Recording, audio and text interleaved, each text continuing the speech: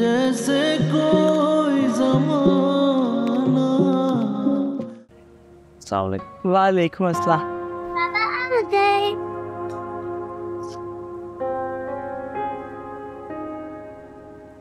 सुनकर खुशी हुई।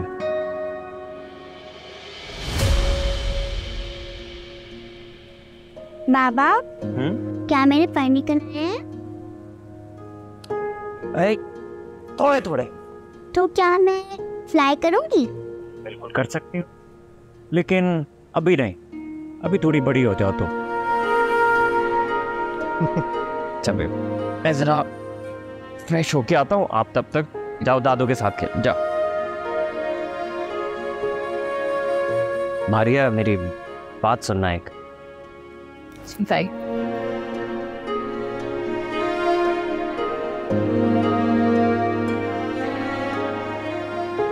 एक तो पहले ही मेरी कोई कदर नहीं करता। उसके बाद बे औलाद भी हो गई।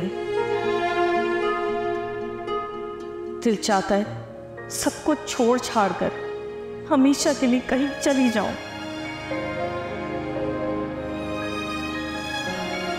मैं तुमसे बहुत नाराज़ हूँ मारिया और मुझे दुख है इस बात का कि तुमने मुझसे फात की सच्चाई छुपाई।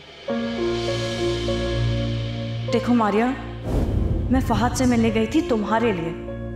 उसे ये कहने कि तुम्हें तंग ना करे। लेकिन मजबूरन मुझे वहाँ रेहान ने उसके साथ देख लिया और मुझे सब कुछ बताना पड़ा रेहान को तुम्हारे बारे में। वो शाम को लास्ट भी तुमसे ये सवाल करेंगे। इसलिए प्लीज़, हाजिर दिमागों के जवाब देना। मारिया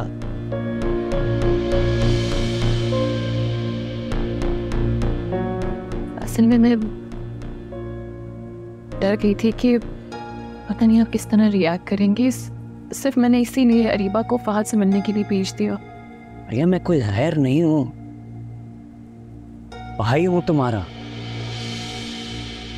तुम्हें मुझे ये बात बतानी चाहिए थी। अगर वक्त पर बता देती तो शायद ये मामला यहाँ तक ना पहुँचता। फहद से डर गई थी कि वो अगर अजद को वीडियो दिखा देगा तो मेरा बसा बसाया घर खराब हो जाएगा भाई।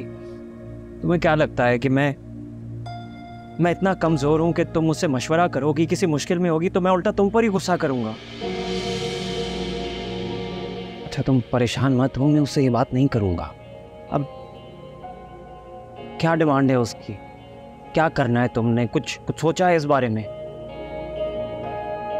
नहीं मुझे खुद ये बात समझ नहीं आ रही कि मैं क्या करूँगी। कुछ भी समझ नहीं आ रहा।